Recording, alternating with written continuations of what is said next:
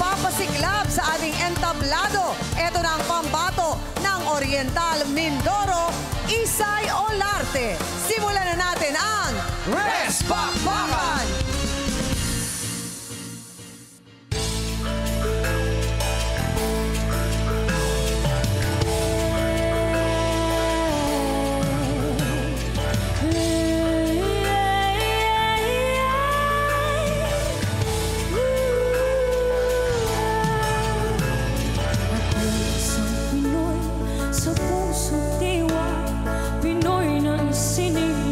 sa ating bansa.